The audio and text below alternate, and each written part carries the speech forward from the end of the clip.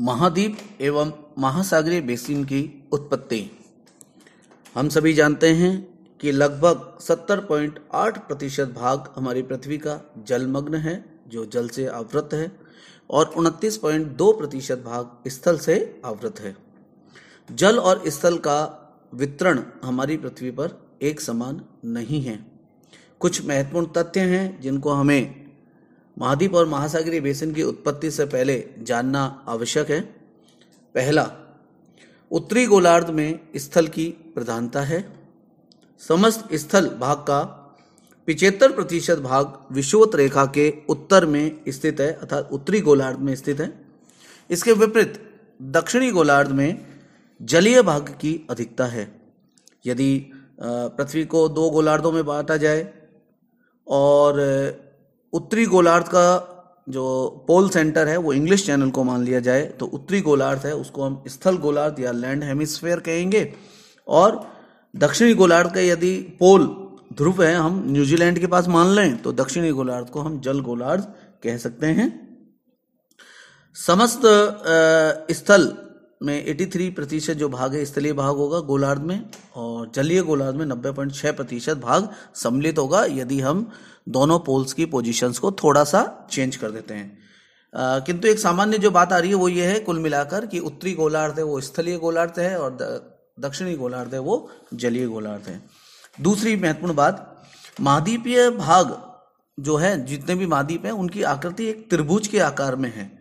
आप देख रहे हैं, जैसे एक एग्ज़ाम्पल हम ले रहे हैं कि उत्तरी अमेरिका उत्तरी अमेरिका आर्कटिक सागर के पास आप देखेंगे कि ऊपर की ओर चौड़ा है और नीचे की ओर आने पर, जैसे ये विश्ववत रेखा के पास आता है, सकड़ा हो जाता है। इसी प्रकार दक्षिणी गोल अमेरिका को देखेंगे, ऊपर से चौड़ा है और नीचे आने पर सकड़ा है। अफ्रीका की पोजीशन भी लगभग वैसी है। यदि हम भारत को एक स्वतंत्र रूप से मान लें तो भारत भी ऊपर से चौड़ा है, नीचे से सकड़ा है। तो कहने का अर्थ है कि आर्कटिक सागर के सहारे इनका आधार है और जो शीर्ष है, इनका एपेक्स है, वो दक्षिण की ओर है। पश्चिमी गोलार्ध में उत्तरी और दक्षिणी अमेरिका, जो एग्ज़ाम्पल के रूप में मैंने आपको समझाया त्रिभुज के रूप में बनते हैं। यही अन्य महाद्वीपों के लिए भी है। एक ऑस्ट्रेलिया को छोड़ दीजिए आप। लग बाकी सभी महाद्वीपों के साथ ये नियम लागू होता है। मोटे तौर पर महासागर भी त्रिभुजाकार हैं। स्थल भाग के विपरीत महासागरों का जो आधार है, वो स्थल के विपरीत होगा। अंटार्कटिका की तरफ़ है, या नीचे की तरफ़ है, दक्षिण की तरफ़। वो उनका आधार वहाँ पर चौड़ा है और ऊपर की ओर जाने पर ये सकड़े हो जाते हैं, जैसे ग्रीनलैंड के पूर्व में। अटलांटिक महासागर, हिंद महासागर का शीर्ष है, वो बंगाल की खाड़ी में है, और अरब सागर के रूप में ये इसका शीर्ष है, और ऊपर की ओर जाने पर ये सकड़े हो जाते हैं। इसी प्रकार, प्रशांत महासागर का शीर्ष है ये अलूशियन द्वीप के पास है, और आधार है वो दक्षिण में है। उत्तरी ध्रुव के चतुर्दिक जल भाग का विस्तार है, जबकि दक्षिण ध्रुव के पास स्थल भाग का विस्तार है। ये भी एक महत्वपूर्ण बात है।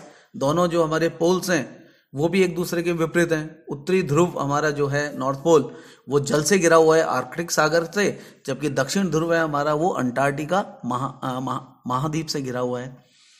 धरातल पर जल तथा स्थल भाग एक दूसरे के विपरीत स्थिर है। धरातल पर चौवालीस पॉइंट छह प्रतिशत भाग में सागर के विपरीत सागर की स्थिति है तथा केवल एक पॉइंट चार प्रतिशत भाग में स्थल के विपरीत स्थल मिलते हैं। लगभग पिचानवे प्रतिशत भाग सागर के विपरीत मिलता है। केवल कुछ अपवाद हैं, जैसे पैटागोनिया, उत्तरी चीन के विपरीत स्थित है और पुर्तगाल एवं स्पेन के विपरीत न्यूजीलैंड स्थित है। अब बात आती है महाद्वीप एवं महासागर की उत्पत्ति के प्रमुख सिद्धांत। दो कैटेगरी में हम इन सिद्धांतों को बांट रहे हैं। एक है संकुचन सिद्धांत, जिसके अंतर्गत पृथ्वी के जो भी भाग बने वो अपनी जगह पर स्थित है और वहीं पर उनमें भौतिकीय परिवर्तन हुए। और दूसरा, विस्थापन सिद्धांत, जिसके अंतर्गत प्रवाह बलों को जिम्मेदार माना गया है वर्तमान भू स्थलाकृतियों के निर्माण के लिए। जो पहला सिद्धांत है हमारा, उसके अंतर्गत सबसे पहले लॉर्ड कैल्विन महोदय ने कुंडलाकार निहरिका वायव्य कुंडलाकार निहरिका परिकल्पना प्रस्तुत की थी। और उन्होंने कहा था कि शीतलन होने की अवस्था में पृथ्वी पर कुछ भाग ऊँचे उठे हुए रह गए और कुछ भाग है, वो नीचे धस गए। ऊँचे उठे हुए भाग महाद्वीप बने और निचले भागों में वाष्पीय, वाष्पीकरण के परिणाम स्वरूप वायुमंडलीय जल वाष्प के कारण महासागरों का निर्माण हुआ। किंतु यह सिद्धांत मान्यता प्राप्त नहीं है। परंतु इसे इसलिए पढ़ा जाता है क्योंकि इस दिशा में लॉर्ड कैल्विन ने पहली बार एक सिद्धांत का प्रतिपादन किया था। इसके बाद लेववर्थ और लव की परिकल्पना आई और इन्होंने भूपटल पर बड़े पैमाने पर फॉल्ड वलन की क्रिया को समझाया और वलन बनने के कारण इन्होंने कहा कि ऊपर उठे हुए भाग वलन की प्रक्रिया के कारण बन गए महाद्वीप और नीचे भाग रह गए थे वो महासागर बन गए। किंतु पूरे पूरे संसार के ऊपर यदि हम देखते हैं तो महाद्वीप और महासागरों का वितरण एक समान नहीं है, अतः यह सिद्धांत भी यहाँ पर फेल हो जाता है। इसी क्रम में एक और बहुत ही इंटरेस्टिंग सिद्धांत हमारे सामने आया था, जिसको हम चतुष्फलक परिकल्पना के नाम से जानते हैं। यह लॉथियन ग्रीन महोदय ने दी थी। लॉथियन ग्रीन ने पूरी पृथ्वी को एक टेट्राहेड्रल शेप में डिवाइड किया था और उनका सिद्धांत है जामितीय नियमों के आधार पर था। जामितीय नियमों के आधार पर उन्होंने दो बातें कही थी। कि एक गोला वह आकृति है जिसका आयतन, ध्यान से सुने आप, कि गोला गोला है ना, गोला, स्पेयर, वह आकृति है जिसका आयतन धरातरीय क्षेत्रफल की अपेक्षा सर्वाधिक होता है। A sphere is dead body which contains the largest volume with respect to its surface area एक चतुष्फलक वह आकृति है जिसका आयतन धरातलीय क्षेत्रफल की अपेक्षा न्यूनतम होता है। यहाँ दोनों आकृतियाँ एक जिस बनी एक ही उससे, लेकिन दोनों के आयतन में अंतर है। एक जिसका आयतन धरातलीय क्षेत्रफल की अपेक्षा अधिक है, दूसरा जिसका आयतन धरातलीय क्षेत्रफल की अपेक्षा न्यून है। उन्होंने ये माना कि हमारी जो पृथ्वी है, ये प्रारंभ में तरल अवस्था में थी और चारों ओर से इसके ऊपर दबाव पड़ा। दबाव पड़ने के कारण यह विशुद्ध रूप से नहीं, लेकिन कुछ कुछ चतुष्फलक के रूप में आ गई। और उठे हुए जो भाग हैं, उनके अंदर महाद्वीप बने और निचले भागों के अंदर महासागर बने। जैसा कि उन्होंने चतुष्फलक के चारों कॉर्नर्स के ऊपर साइब्रेरिया कनाडा और अंटार्कटिका और बीच में मध्य में यूरोप को दिखाया और इनके निचले जो भाग थे, वो आर्कटिक सागर, हिंद महासागर, अटलांटिक सागर और पीछे का पूरा, जो कि एक तिहाई भाग के ऊपर फैला हुआ है, प्रशांत महासागर इसको दिखाया। किंतु देखिए यदि हम पृथ्वी के ऊपर फैलाव और बनावट के आधार पर इस सिद्धांत को मान्यता दे तो ये बहुत ही अच्छा और इंटरेस्टिंग था। किंतु परिकल्पना में कुछ मूलभूत कठिनाइयाँ थी। एक तो ये कि एक चतुष्फलक के रूप में पृथ्वी को बदलना संभव नहीं है। यदि इतना प्रेशर लगाकर पृथ्वी को चतुष्फलक के रूप में गोले से बदला जाएगा तो पृथ्वी का परिभ्रमण ही रुक सकता है। और इसी प्रकार जल थल का जो वितरण है उसको समझने के लिए तो सिद्धांत ठीक था, लेकिन इसकी जो पृथ्वी की आकृति है और अपनी किली पर जो घूमती है, तीव्र गति से परिभ्रमण करती है, उनको लेकर यह सिद्धांत अपनी बात पूरी तरह स्पष्ट नहीं कर पाया, इसलिए यह फेल हो गया। लेकिन संकुचन के रूप में इस सिद्धांत ने पृथ्वी पर जल और थल के वितरण को बहुत ही सुंदर तरीके से समझाया था। ये हमारे सिलेबस में नहीं है, लेकिन मैं फिर भी आपसे कहूँगा कि यदि पृथ्वी की उत्पत्ति और महाद्वीप, महासागरों की उत्पत्ति को आपको अच्छे से समझना है तो प्लीज़ आप वेगनर और प्लेट टेक्टोनिक सिद्धांत से पूर्व संकुचन सिद्धांतों को अवश्य पढ़ें। क्यों? क्योंकि इन्हें पढ़े बिना हम ये नहीं जान पाएँगे कि वेगनर महोदय ने अपनी बात क्यों कर कही थी।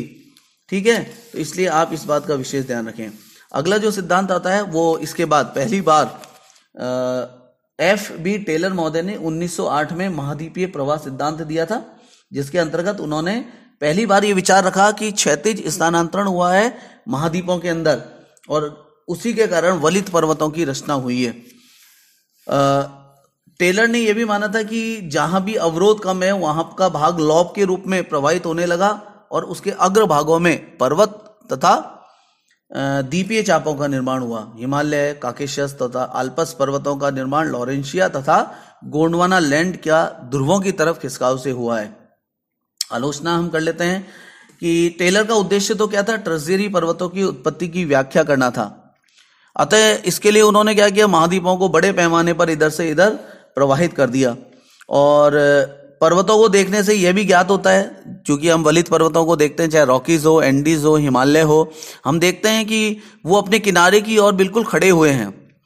तो ये सिद्धांत ये तो बताता है कि किनारे की ओर जाना आवश्यक है और एक क्षैतिज गति होनी चाहिए, लेकिन उसके लिए बत्तीस से चौसठ किलोमीटर का स्थानांतरण ही पर्याप्त था। इसके विपरीत टेलर महोदय ने जब अपने सिद्धांत की व्याख्या की तो उन्होंने हज़ारों किलोमीटर का इसमें प्रभाव बता दिया, जो कि बहुत ही मुश्किल भरा काम है। दूसरा क्रिटेशियस युग में चंद्रमा की ज्वारीय शक्ति टर्जरी युग के पर्वतों के लिए जिम्मेदार है। तो फिर उससे पहले के, जैसे अपलेशियन पर्वत का निर्माण कैसे हुआ, हमारी अरावली का निर्माण कैसे हुआ, इसके ऊपर भी वो प्रकाश नहीं डाल पाए। इन सभी समस्याओं को सुलझाने के लिए बहुत ही बेहतरीन एक और सिद्धांत हमारे सामने आता है। अगले वीडियो में हम उसके बारे में बात करेंगे। कोर्स में है, बहुत ही महत्वपूर्ण है और बहुत ही इंटरेस्टिंग है। बहुत सारे अच्छे उदाहरणों के साथ अल्फ्रेड वेगनर महोदय ने जो कि जर्मनी के थे, एक जलवायु वेता थे, वनस्पति शास्त्री भी थे, उन्होंने अपने सिद्धांत को हमारे सामने रखा और उस सिद्धांत को हम कहते हैं वेगनर का महाद्वीपीय प्रवाह सिद्धांत। प्रिय विद्यार्थियों, ये इंट्रोडक्शन पार्ट है महाद्वीपीय विस्थापन और आ, का और महाद्वीपीय जो आ, बेसिन का निर्माण हुआ उसका। अगले सिद्धांत में हम आ, देखेंगे वीडियो के माध्यम से कि किस प्रकार वेगनर महोदय ने अपने सिद्धांत को प्रतिपादित किया और कौन कौन से ऐसे वानस्पतिक प्राणी शास्त्रीय और भूगर्भिक उदाहरण उन्होंने दिए जिससे इनका सिद्धांत सत्यता के बहुत ही नज़दीक नज़र आता है। आगे चल के सिद्धांत में कुछ कतिपय कमियाँ रही, लेकिन फिर भी बहुत सारे उदाहरणों के कारण यह कई सालों तक, लगभग 30-40 साल तक बड़ा लोकप्रिय रहा था। तो वेगनर का प्रभाव सिद्धांत, अगले वीडियो का आप इंतज़ार कीजिए। Have a good day. Bye.